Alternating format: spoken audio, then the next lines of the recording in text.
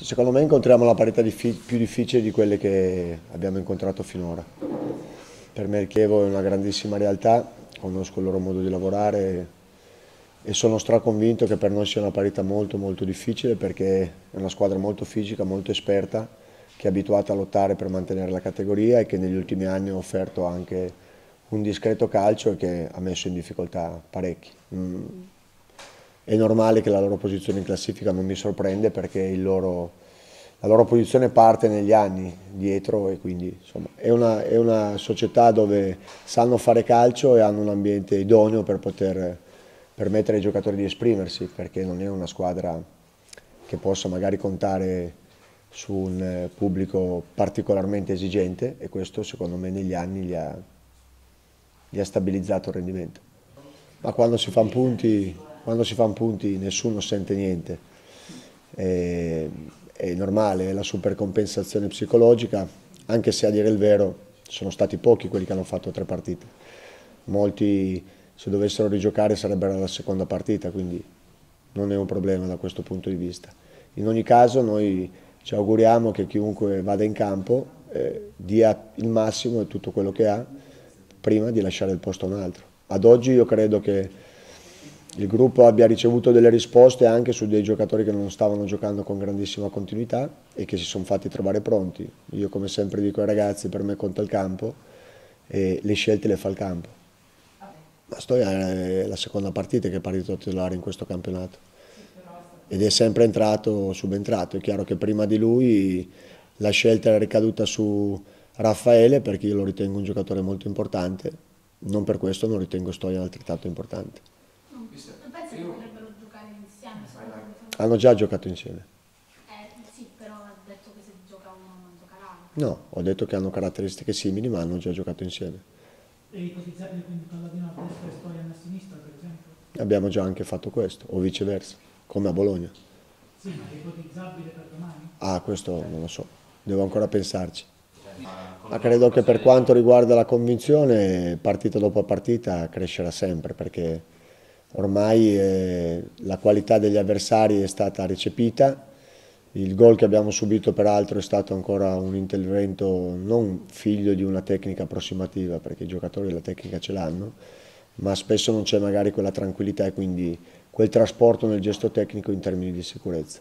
Io credo che questo sia solo eh, un discorso legato al fatto che più si gioca in questa categoria miglior, miglior convinzione si, si conquista. In realtà per la partecipazione alla manovra offensiva non è stata diversa rispetto a, a Sassuolo, semplicemente con Sassuolo avevamo un modo leggermente diverso di stare in campo, quindi utilizzando più due mezze ali e tre punte e, e con la Fiorentina, complice anche il fatto che loro hanno un gioco altamente imprevedibile, diventava difficile dare dei punti di riferimento perché significava poi creare dei, delle problematiche. Abbiamo preferito ragionare sugli spazi, quindi tenendo due linee da quattro con due attaccanti e quando si ripartiva si ripartiva comunque sempre in quattro. Lo stesso accadeva a Reggio Emilia, poi alle volte in tre, alle volte generalmente comunque in quattro.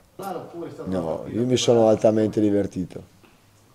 Mi sono altamente divertito e la riunione a fine campo è stata solo per complimentarmi con i ragazzi perché io vedo come lavorano, credo ciecamente in loro e sono convinto, come gli ho sempre detto, che per me è possibile fare punti anche in campi difficili contro squadre altamente qualitative. Non sta scritto da nessuna parte che tu le debba già dare perse per, in partenza. Per quanto riguarda la mia posizione, io lo sapete come la penso, non, non, mi interessa di nulla. Io amo fare il mio lavoro, finché lo faccio lo faccio con grande passione, quando non me lo fanno più fare non è un problema. Ma questi adattamenti accadono anche giocando con il 4-4-2. Eh, generalmente tu abbassi uno dei due centrocampisti, un esterno che ha caratteristiche più da mezzala lo porti dentro sulla loro mezzala e preferisci allargare magari una delle due punte. Non è che nel corso della partita ci sono questi tipi di uscite, così come eh, ottenere magari eh, più vicinanza alla punta centrale. Chiaro che se eh, la finta o l'ala la fa un, un, giocatore come Falcinelli, è uno che ha corsa, che ha qualità per poter darti sia una mano a livello difensivo, sia poter giocare come punta centrale o all'occorrenza seconda punta. Quindi questi sono cambiamenti tattici che avvengono durante la partita e che noi cerchiamo di prevedere. Poi in funzione di, se si magari incontra un, una linea difensiva a 4 con un centrocampista centrale, dipende dalle caratteristiche del centrocampista centrale, dipende da un po' di cose. Non è che ci siamo arrivati, noi avevamo già giocato col Palermo così, diciamo che nell'espressione del gioco e nella, eh, nell'equilibrio tra le due fasi, per le caratteristiche dei giocatori, questo è un modo che ci ha dato la possibilità di poter essere sia offensivi sia guadagnare di più punti. Ah, io non lo so, io credo che ci sia un percorso da fare e che una volta conosciute le caratteristiche dei giocatori li si metta nelle condizioni di esprimere il loro massimo potenziale nelle posizioni a loro più consone. In questo momento è così, non escludiamo il fatto di poter avere altri adattamenti, l'importante è che una volta che abbiano eh, così, capito quelle che sono eh, le richieste, ad oggi l'hanno capito perfettamente perché la squadra è una squadra molto disciplinata, organizzata tatticamente, che prova a fare quelle 4-5 giocate sulle quali insistiamo, e che alle volte ci riescono, altre volte meno.